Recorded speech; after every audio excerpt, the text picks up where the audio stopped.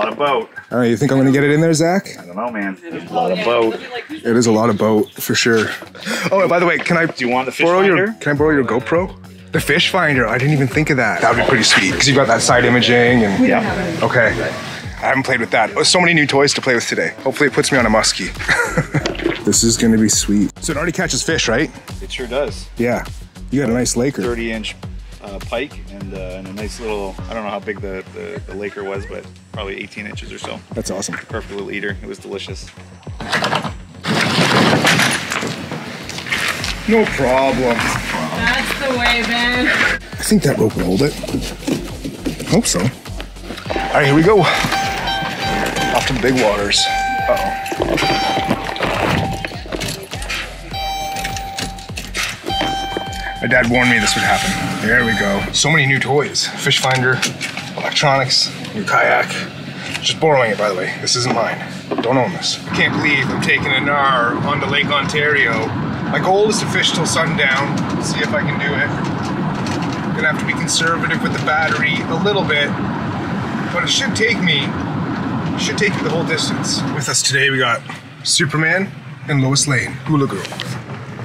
It's a hot one today, oh boy. I think I even got some sweat on the lens there. Well, just about hooked up. Just gotta get the motor hooked up to the battery. Everything else is just about done. It's quite the load here. Well, I'm learning a lot about this Torqeedo, like what it takes to actually set it up and get it going. So I'm gonna fill you in on my thoughts on this at the end of the day. Tell you whether or not I think it's really worth it.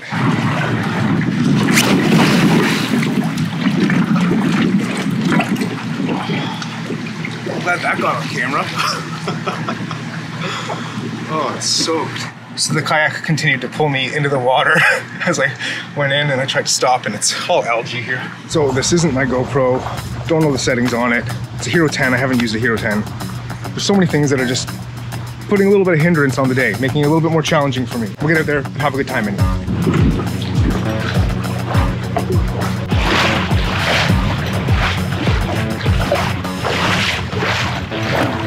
Quite the rig to try and figure out. And my feet are cramping. Honestly, I like don't know how long I can do this. I feel like I need something to like support my feet so that I don't have to like do it with just my toes. Like trying to do it with my tippy toes here. If I'm honest, I'm a little nervous to make this crossing. I mean, you can see how much the big boats are kind of rocking in it. Maybe you can't see that. So I'm going about 5.3 kilometers an hour. And with the amount of charge I have and how much energy it's taken me to go into the wind, uh, I could go about 20 kilometers at this pace if I were to maintain that speed in the wind direction the entire time. So that's pretty good. I still have quite a distance to go because I won't be going into the wind the whole time. And right now I'm just trolling a huge six ounce uh, spinnerbait. Big, huge black musky spinnerbait. Yeah. And I got one hand free. My other hand is actually on the musky rod.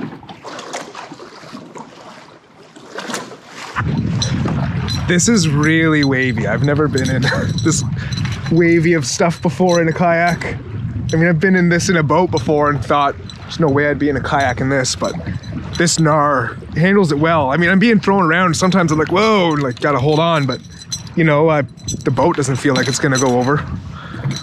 Just, I need a seatbelt. That's what I need. No, totally unsafe. I know, I know, I know.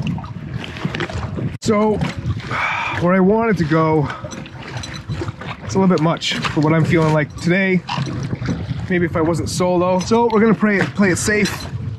I'm gonna try trolling at a different depth though. I'm trying to get up to this break here. Oops, that's, I forgot it's touchscreen. So I'm just coming up to this break. I'm gonna try this line again. We'll see what's there. So how I get back? Okay. I don't really know how to read this. I mean, for all I know, that could be like, hey, there's tons of fish here, Ben. You're just not catching anything you're just not that great at fishing, which is legit, but I just don't know how to read this.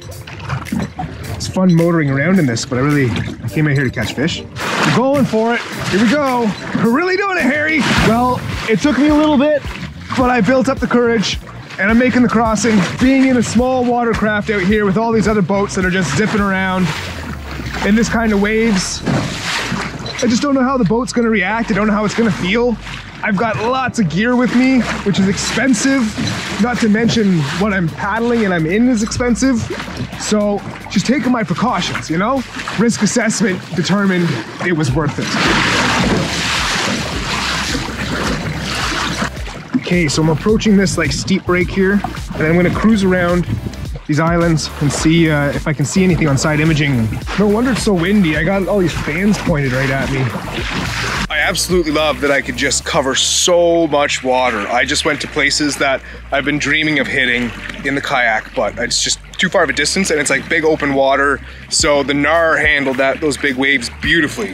That was wonderful. That was sweet. And then having the Torqeedo to just get me there uh, without any issues was awesome. Absolutely loved that. For all the obvious reasons, it's clear the Torqeedo's pretty sweet. For the stuff that's not a little, that's not as obvious, that doesn't jump out right away, but I figure I, I should let you know just so you know what you're kind of signing up for and also what to consider when you're kind of setting it up or considering the kayak that it's going to be going on. First thing is the foot rudder. Now you can get the hand rudder, which is pretty sweet too.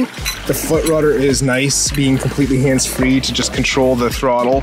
Like that's awesome. I totally love that. I just don't like on this design how high they are.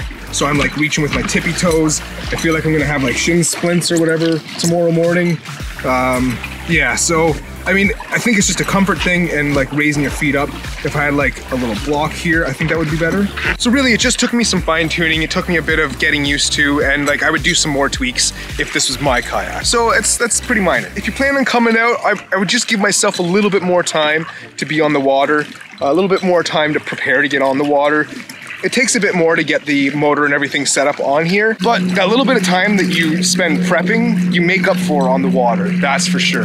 I got to places that I would not have been able to get to if I saved that little bit of time at shore of not setting this up and then just hit the water. It's not like I would have seen it, seen much more. So isn't that sky nice? Yeah, I think it's just just prepare, understand what you're dealing with. Just understand that your first time out with the Torqeedo, gonna have some tweaks. Not everything is gonna be perfect the first time you get out there. All in all, I think it's incredible if you can afford it and you don't mind that little bit of extra work to get on the water, then for sure. If you enjoy the simple things in life, stick to paddling. But if you want something that's pretty sweet and uh, gets you around quick, I definitely check out the Torqeedo and the Knarr for big water. Now that I've done that crossing, I'll do that in my U-Pick I'll do that in my paddle kayak probably when the weather's just right. And uh, also, I would have tackled that a lot sooner in this kayak had I, had I have known how well this was going to handle the big water. Anyways, I hope you liked that video. If you did, hit that like button, subscribe to see more, and we'll catch you later. Mm, stop by this great little hamburger joint. It's a little mom and pa shop. You know, get a couple burgers for, for when I'm out here. It's called Allen and Wrights. It's not half bad. Apparently there's, there's grass in this beef or something. I don't know.